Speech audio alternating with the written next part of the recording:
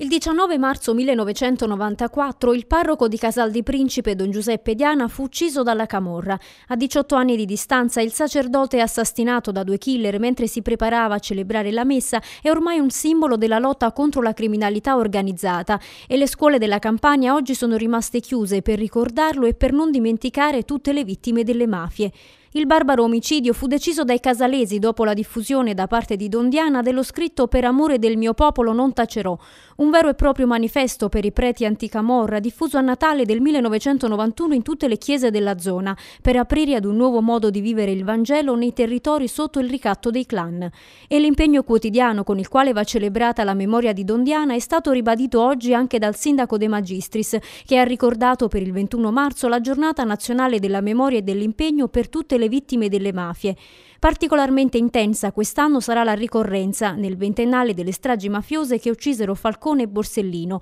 Fitto il programma di iniziative promosse nelle scuole con proiezioni, spettacoli e drappi bianchi esposti alle finestre per testimoniare la volontà di ribellarsi ad ogni forma di violenza e di sopraffazione.